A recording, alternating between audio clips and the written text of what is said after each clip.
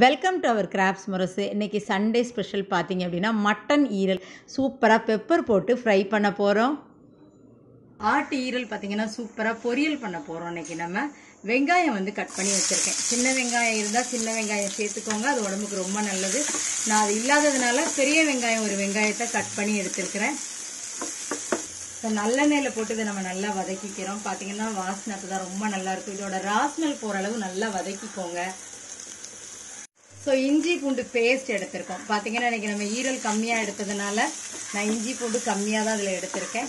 So அதை பேஸ்ட்டை வந்து அந்த வெங்காயத்தில் போட்டு நம்ம நல்லா வதக்கிக்கலாம்.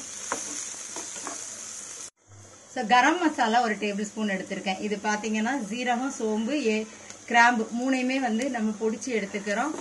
வீட்டிலே நம்ம இதை ப்ரிப்பேர் பண்ணிக்கலாம். டேஸ்ட் வந்து ரொம்ப நல்லாயிருக்கும் ஸோ இதையும் இந்த எண்ணெயில் போட்டு நம்ம நல்லா வதக்கிக்கலாம். ஸோ ஈரல் இந்த மாதிரி நம்ம நல்லா வாஷ் பண்ணிட்டு குட்டி குட்டி பீசஸாக கட் பண்ணியிருக்கேன். இப்போ இந்த வெங்காயத்தோட நம்ம சேர்த்துக்கலாம். ஸோ இதை நம்ம நல்லா வதக்கிக்கலாம். அது பார்த்தீங்கன்னா ஃபாஸ்ட்டாக குக் ஆகிடும் நமக்கு. ஸோ அதை நம்ம நல்லா இந்த எண்ணெயிலே வதக்கிக்கிறோம். இது பார்த்தீங்கன்னா மட்டன் குக் ஆகிற டைம் எடுக்கும் இல்லையா? அந்த மாதிரிலாம் கிடையாது. ஈரல் வந்து ரொம்ப ஃபாஸ்ட்டாக வந்து நமக்கு குக் ஆகிடும் அதுவும் நம்ம குட்டி குட்டி பீசஸாக வேற கட் பண்ணி போட்டிருக்கோம்.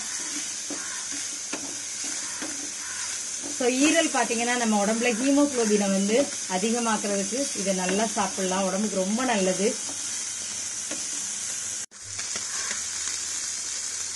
ஸோ கருவேப்பிலை ஆட் பண்ணியிருக்கேன். தேவையான அளவு சால்ட் ஆட் பண்ணிக்கலாம். ஸோ இதை நல்லா மிக்ஸ் பண்ணிக்கோங்க. ஸோ இதுக்கப்புறம் தான் நம்மளுடைய சீக்ரெட் இன்க்ரீடியண்ட்டை நம்ம ஆட் பண்ண போகிறோம் என்னது அப்படின்னா மிளகுத்தூள். ஸோ மிளகுத்தூள் வந்து இதில் நம்ம தாராளமாக எடுத்துக்கலாம். ஏன்னா வத்தல் பொடி அது எதுவுமே நம்ம சேர்க்க போகிறதில்ல ஸோ கருப்பு மிளகுத்தூள் அதை வந்து இதில் கொஞ்சம் தாராளமாக சேர்த்துக்கோங்க.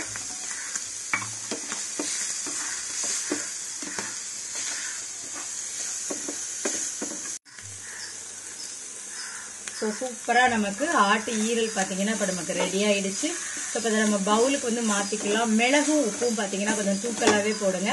டேஸ்ட் அப்போ ரொம்ப நல்லா இருக்கும். பெப்பர் ஈரல் ஃப்ரை. இந்த ரெசிபி பிடிச்சிருந்தா லைக் பண்ணுங்கள் ஷேர் பண்ணுங்கள் சப்ஸ்கிரைப் பண்ணுங்கள் தேங்க்யூ